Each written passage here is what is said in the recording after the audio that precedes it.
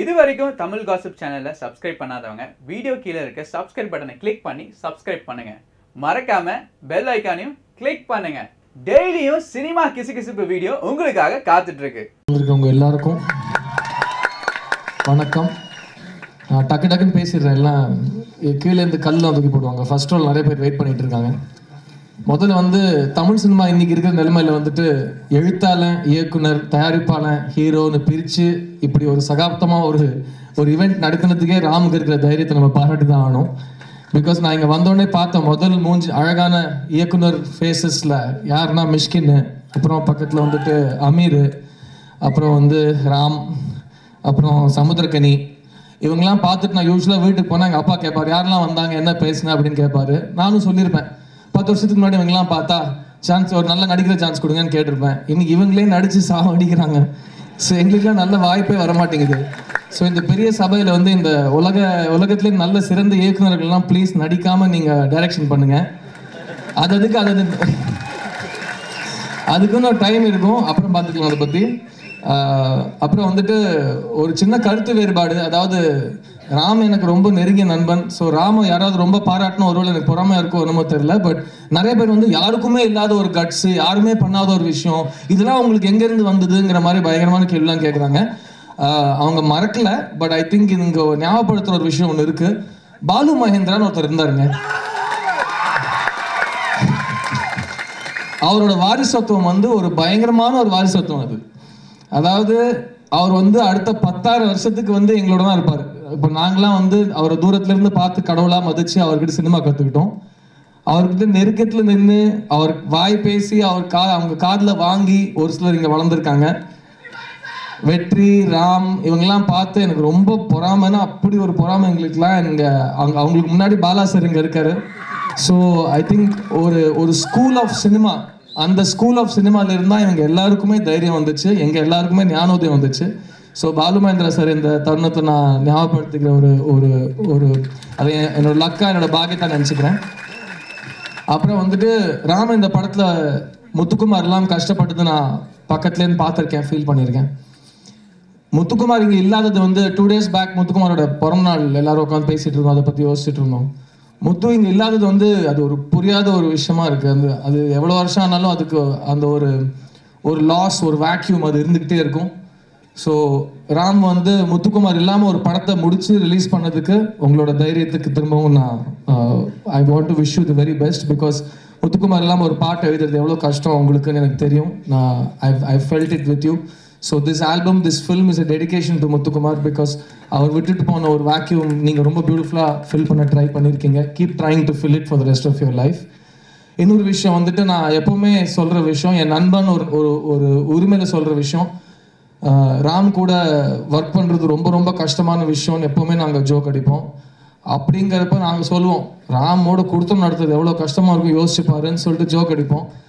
அப்படி கொடுத்து நடத்துறவங்க வந்து திரும்ப ராமுக்கு ஒரு டெக்னீஷியனாக மாறி கவிதை எழுதுறதுங்கிறது அது வந்து ஒரு விதியோட விளையாட்டான்னு என்னன்னு தெரியல but all the best Sumathi. இதை விட உங்களுக்கு லைஃப்பில் ஐ திங்க் எக்ஸ்போஷர் எந்த விதத்திலும் கிடைக்க முடியாது. அண்ட் பேரன்புங்கிற படம் நான் ரெண்டு வாட்டி பார்த்துருக்கேன். அந்த படத்தில் முக்கியமான ரெண்டாவது வாட்டி ஏன் பார்த்தேன்னா ரெண்டாவது வாட்டி தான் அது முழுமையாக ஒரு படமாக என் கண்ணுக்கு முன்னாடி வந்துச்சு.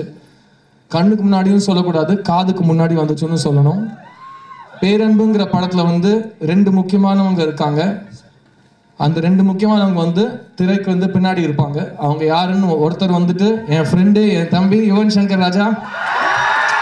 I love you I am நான் யுவனோட மிகப்பெரிய ஃபேனுன்னு தான் சொல்லணும். ஆனா நான் யுவனை மீட் பண்றப்ப அவரோட ஃபேன்ஸ் பத்தி நிறைய திட்டிருக்கேன் அவரை பிகாஸ் uh, யுவனுக்கு வாட்ட கம்பேக்ன்றான் அடிச்சிடுவேன்னு சொல்லியிருக்கேன். யுவன் எங்கேயும் போனதும் கிடையாது. யுவனை யாராலும் அசைக்கவும் முடியாது. ஸோ யுவனுங்கிற ஒரு ஒரு இசையமைப்பாளனுக்கு வந்து இந்த கம்பேக் அப்படிங்கிற வார்த்தை யாரும் ப்ளீஸ் யூஸ் பண்ணாதீங்க. ஒரு நிரந்தரமான ஒரு ஒரு ப்ரெசன்ஸ் ஒரு ஃபோர்ஸ் தமிழ் சினிமாவுக்கு யுவன் சங்கர் ராஜா. அண்ட் ராமோட மூணு படம் பண்ணதுக்கு அப்புறம் எ- எந்த டெக்னீஷியனுமே ராமோட நான் கொடுத்து நடத்திருக்கேங்கிற அளவுக்கு உரிமையா சொல்லலாம்.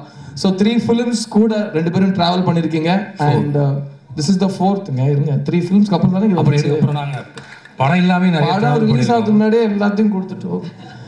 ஸோ த்ரீ ஃபிலிம்ஸ் ட்ராவல் பண்ணதுக்கப்புறம் இந்த படத்தை ஸ்டார்ட் பண்ணுறப்போ அவங்க இதே வார்த்தை வந்து ஒருத்தர் ஒருத்தரோட பேசிப்பாங்க. இது வரைக்கும் பண்ணதை பண்ணாமல் புதுசாக ஒன்று பண்ணணும்னு.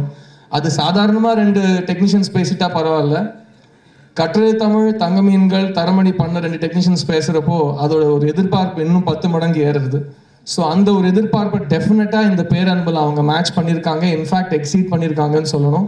இவனோட ரொம்ப ரொம்ப கம்ப்ளீட்டான score background score is a huge highlight for this film and Theni Eswar's work in this film is அன்பிலீவபிள்ங்க எனக்கு தெரிஞ்சு உலக அளவில் இந்த வருஷம் அதாவது டூ தௌசண்ட் எயிட்டீனில் வர படங்களில் விஷுவல் போய்ட்ரிங்கிறது வந்து இந்த பேரன்பை வச்சு நீங்கள் கிளாஸ் சொல்லி கொடுக்கலாம். அந்த அளவுக்கு தேனீஸ்வர் இந்த படத்தில் உழைச்சிருக்காரு. இந்த படம் வந்து தரமணிக்கு அப்புறம் அவருக்கு வந்து தமிழ் சினிமாவில் மட்டும் இல்லை இந்தியன் சினிமாவில் உலக சினிமாவில் ஒரு மிக சிறந்த டெக்னீஷியனுங்கிற பேர் வாங்கி தருங்கிற தைரியம் எனக்கு டெஃபினட்டாக இருக்குது இது எல்லாத்தையும் தாண்டி இந்த படத்தில் இருக்கிற நடிப்பு இஸ் ரியலி எக்ஸ்ட்ராடினரிங்க இந்தியாவில் வந்துட்டு ஒரு படத்தில் இருக்கிற நடிப்புக்கு விருது யாரும் கொடுக்க மாட்டாங்க. இன்ஃபேக்ட் நல்ல நடிப்புக்கு விருது கிடைக்கிறது ரொம்ப ரொம்ப ரொம்ப கஷ்டம்.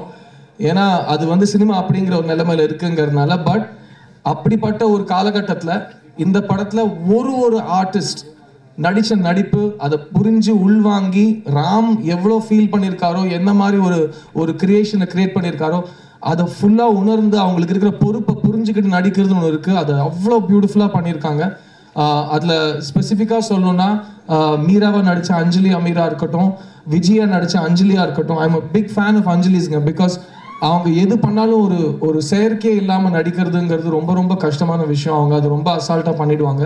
அதுக்கு என்னோட வாழ்த்துக்கள் Anjali. Outstanding performance in this film and மீராவை நடித்த அஞ்சலி அமீர் இந்தியாவில் மட்டும் இல்லை வேர்ல்டில் வந்துட்டு டிரான்ஸ் கேரக்டர்ஸை சிஸ் ஆக்டர்ஸ் ப்ளே பண்ணுறது அதாவது அதை வந்து ஒரு நடிகனாக அவங்க வேஷம் போட்டு நடிக்கிறதுல நிறைய பேருக்கு உடன்பாடு இருக்கிறது இல்லை அது நல்ல விஷயம் தான் ஏன்னா டிரான்ஸ் கேரக்டருக்கு டிரான்ஸ் ஆக்டர்ஸ் இருக்காங்க. அதை இன்னும் நல்லா புரிஞ்சுக்கிட்டு இன்னும் அருமையாக நடிக்கிறதுக்கு ரொம்ப அழகாக இந்த மாதிரி வடிவம் இருக்கிற ஆக்டர்ஸ் நிறைய பேர் இருக்காங்க. So welcome to cinema Anjali Ameer and I hope to see you in many many films and Sadhana தங்க மீன்களை விட நீங்க சொன்ன மாதிரி அவங்க குதிச்சு குதிச்சு நடிச்சிட்டீங்க.